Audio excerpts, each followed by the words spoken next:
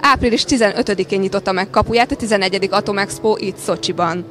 A nukleáris technológia egy jobb életért kulcsmondattal útjára indították a rendezvényt, ahol a fenntartható fejlődésről és az űrkutatás jövőjéről is többet megtudhatunk.